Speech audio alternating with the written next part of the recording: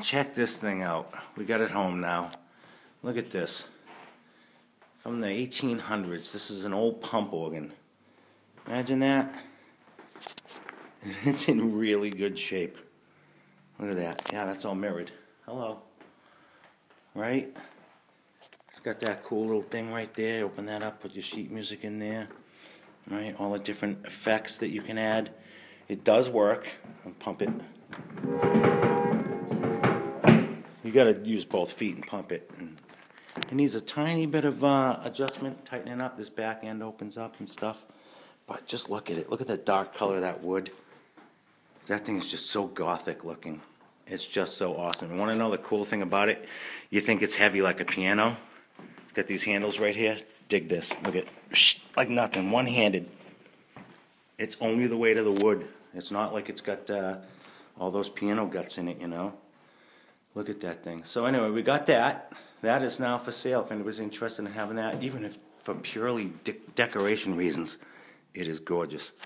Then we got this table set. Look at this.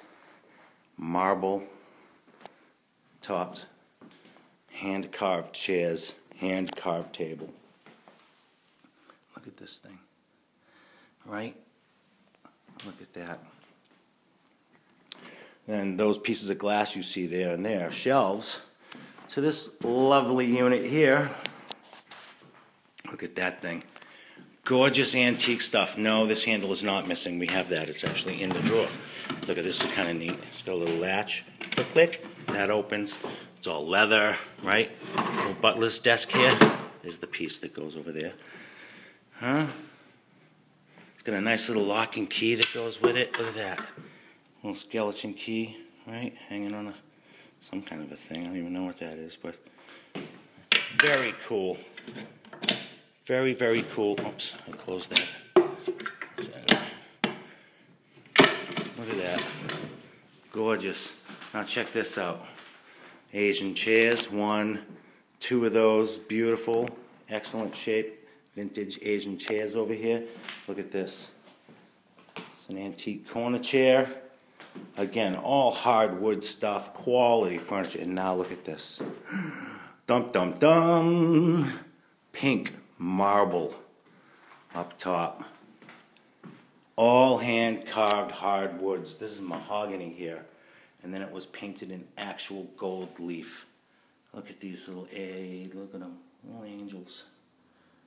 Right? Cherubs, I guess.